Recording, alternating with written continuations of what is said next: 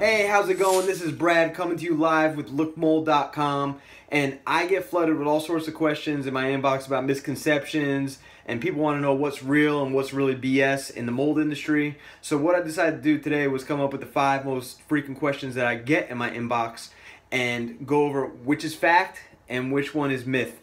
So, let's go over the five top questions that I do get in my inbox, and please subscribe to my channel.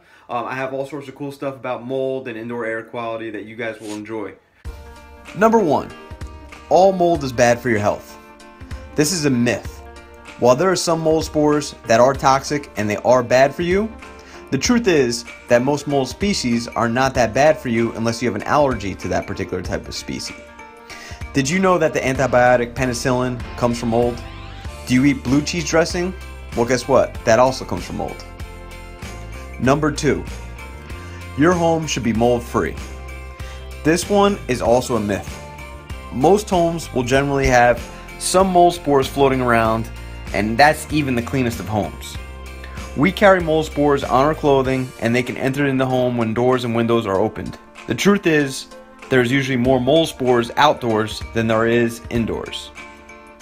Number three, mold can grow in your air conditioning ductwork. This one is actually true, although depending on what kind of ductwork you have, mold generally doesn't grow on the ductwork itself. What happens is you have dirt and dust that combines into your system, and over a period of time, the mold will start growing on those.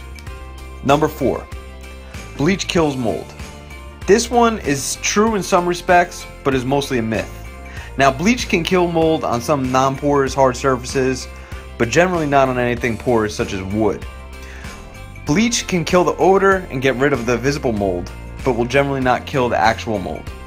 In some cases, it will actually make the mold worse. Number 5. Mold that is black in color is black toxic mold. This one is also a myth. Mold comes in many different colors. There are many species of mold that can appear to be black, but not all of those are toxic. The only way to know for sure is to have it tested. This has been Myth vs. Fact brought to you by lookmold.com. To learn more about mold and the mold remediation process, go to lookmold.com. I hope you enjoyed this video and please subscribe.